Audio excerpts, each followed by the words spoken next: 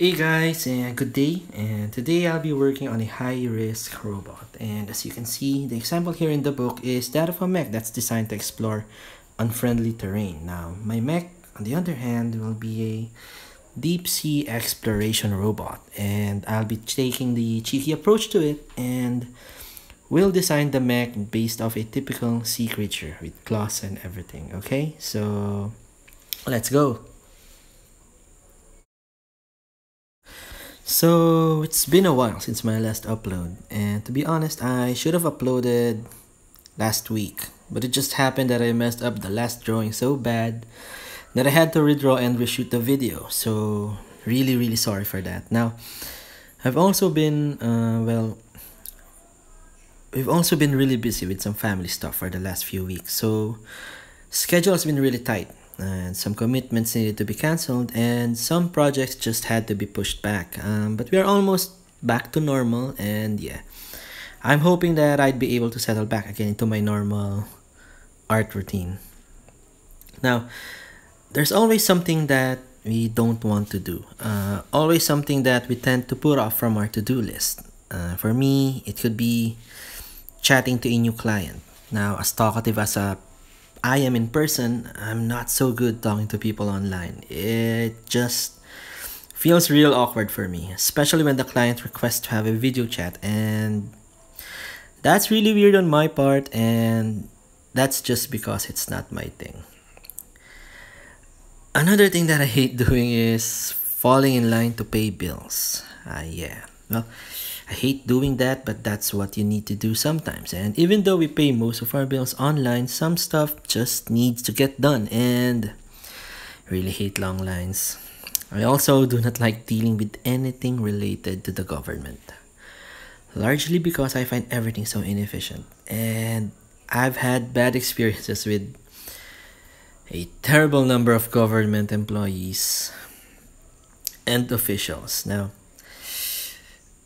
uh, the things that I mentioned, uh, these are the things that I hate to do, but I know that I have to at one point or another. And also, as a freelancer and a married man, there are many things on my to do list that are not art related that I wish I could opt not to do, but I have to.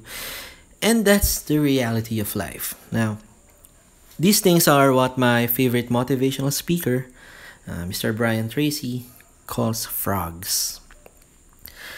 Brian Tracy's advice from his book Eat That Frog is to take the biggest and the ugliest frog and eat it first. This means that if you look at your to do list, um, the one thing that you hate to do the most, that's the one that you should take care of first. Now, this is good advice, really, especially when that one task is high priority.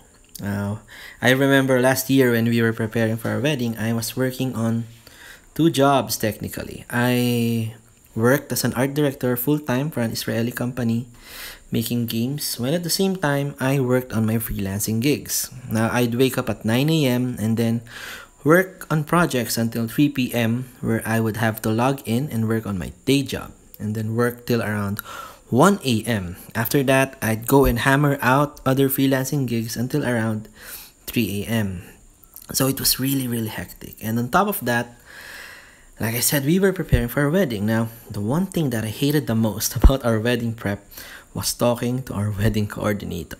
And largely because, and I'm saying this as politely as I can, but because she was really, really incompetent in her work. And sadly, um, there were instances where I had to contact some of the suppliers themselves because, I mean, I needed to keep the ball rolling and she just couldn't handle the job.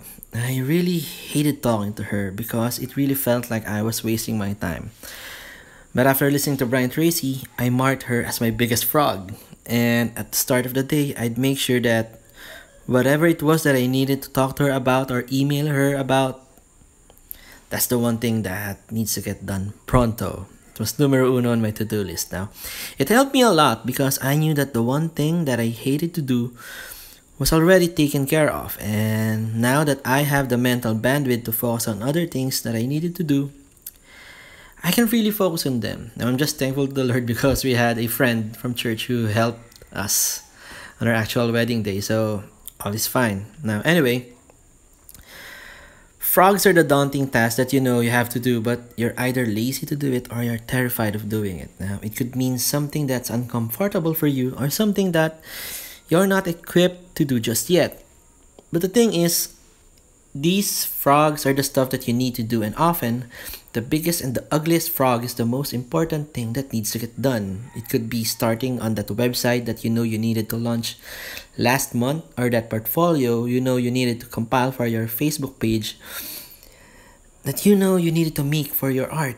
Or it could be as simple as and as terrifying as asking your idols for a critique. All important stuff, all too daunting.